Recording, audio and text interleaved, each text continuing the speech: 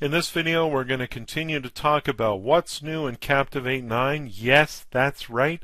I said Captivate 9. In this particular video, we're going to focus on the uh, new, on the brand new effects panel. A big improvement over previous versions of Captivate.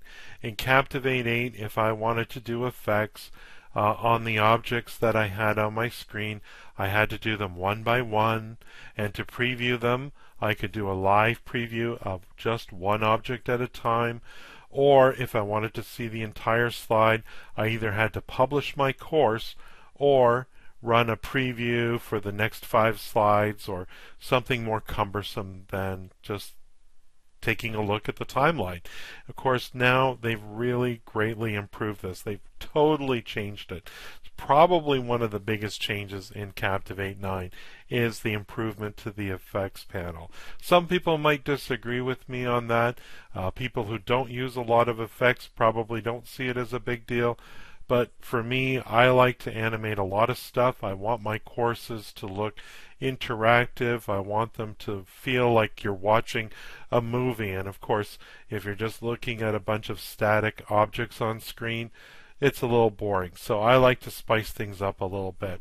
So it's real simple to do. If you wanted to apply an effect uh, to an object on your screen, you select that object and you can do one of several things. You can uh, right click on the object and go all the way to the bottom here and apply effect.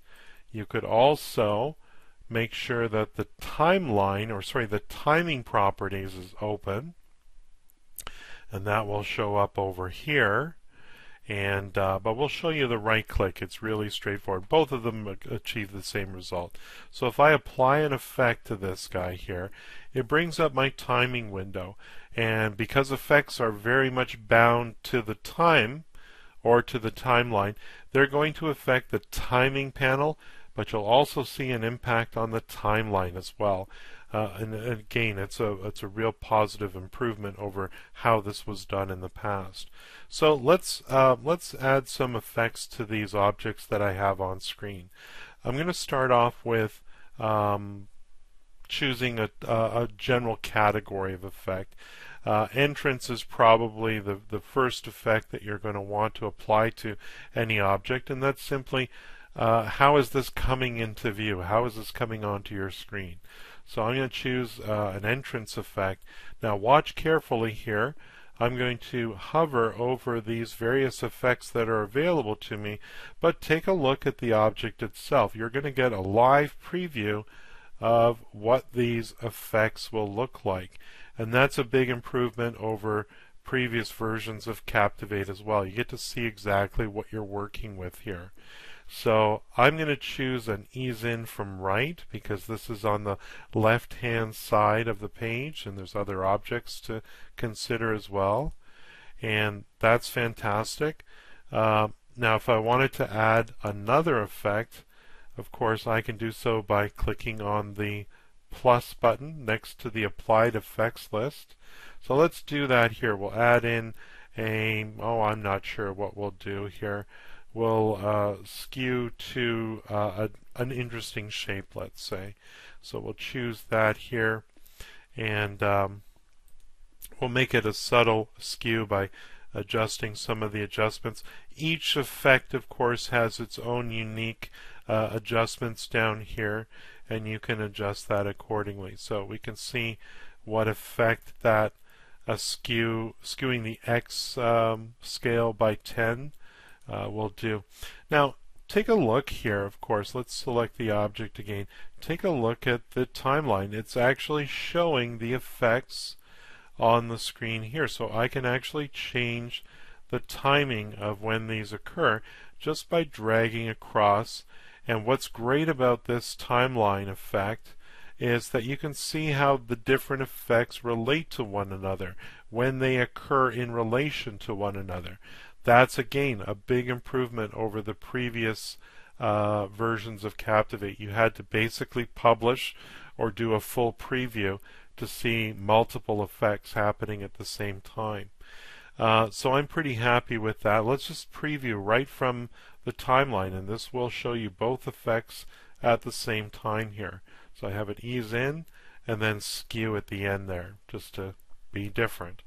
Um, let's press stop here. So that does uh, a great thing as well. Now I have multiple items um, that are sort of grouped together, but I haven't actually grouped them together. In the past, Adobe Captivate 8 and 7 and 6 and so on, if I wanted to animate, let's say, we'll use this guy here as an example. I've got an image and let's just uh, zoom in at like 150%. So I have um, six copies of an image of an airplane plus this blue box with some text on it.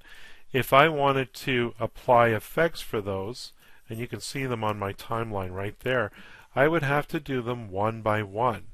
Not so with Captivate 9. In fact, it's so easy that it's not even something uh, that's uh, even a, a remotely a big deal anymore.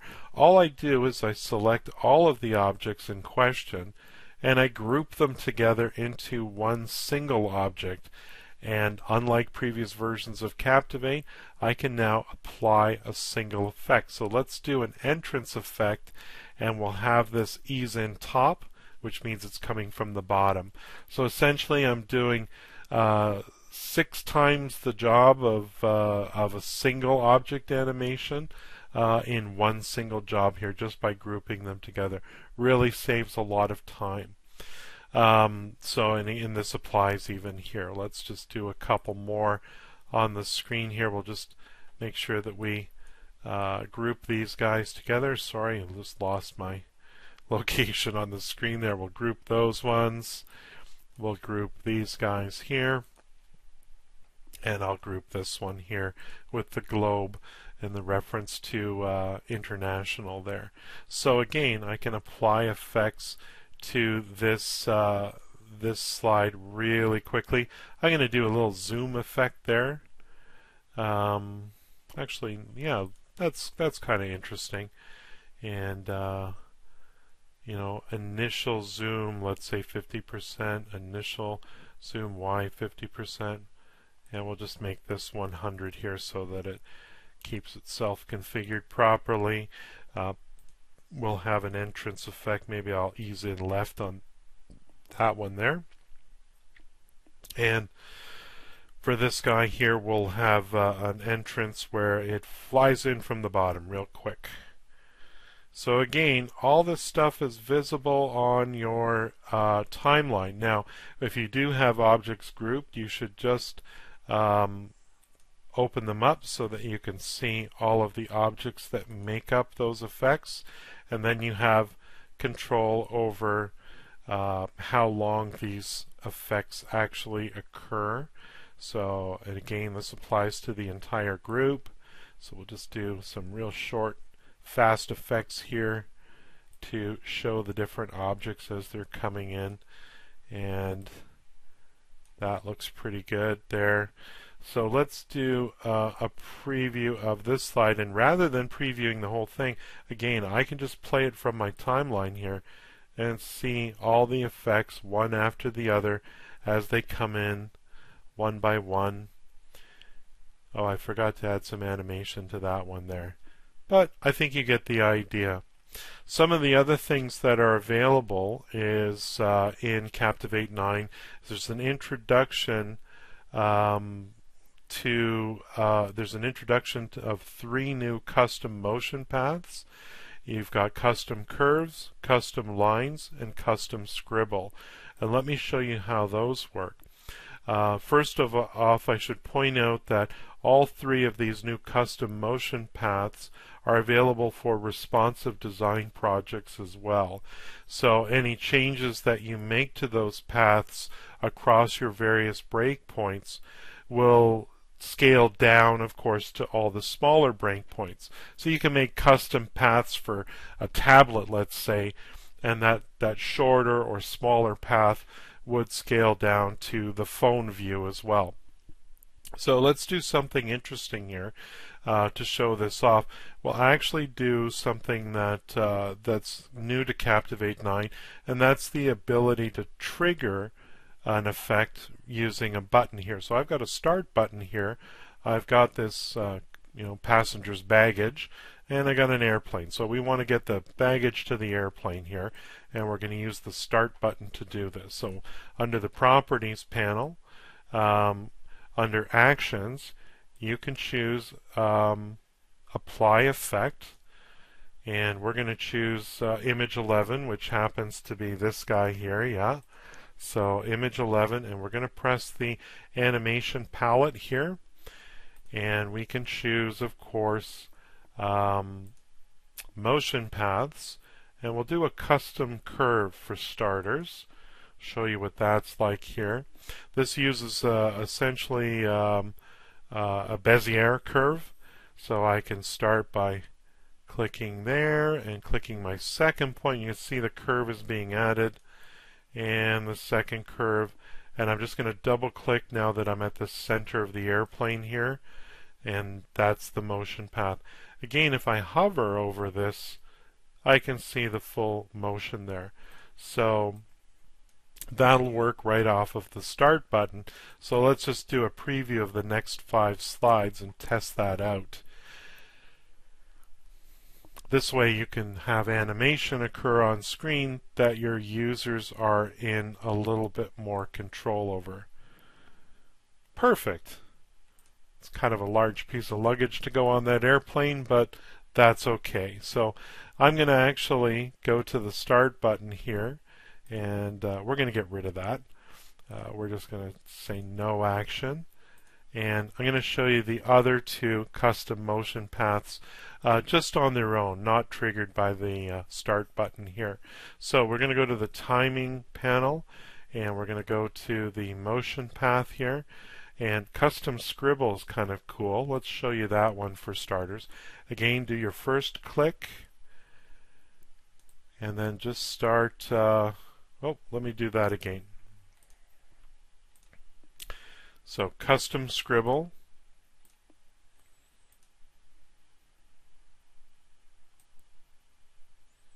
And it literally is draw just like you were you know, back in kindergarten, you can draw any old path that you want.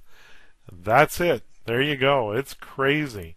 Let me just hold the mouse over the custom scribble. Uh, there you can see it's just taking it on a journey all over the place there. So that's available to you as well. You can totally come up with any path you want with one of these uh, these three custom paths that are available to you. The last one, of course, is custom lines, and lines can be as simple as a straight line. Um, but also think uh, custom lines are great for zigzags as well. So if I click my first click there, second click, you know, it could be a lot of different things uh, leading to the eventuality of getting your baggage to the airplane. So there it is, and let's uh, do a preview of that. So again, uh, whatever you can imagine between those three, um, you certainly have uh, all of the different uh, motion paths that are available to you.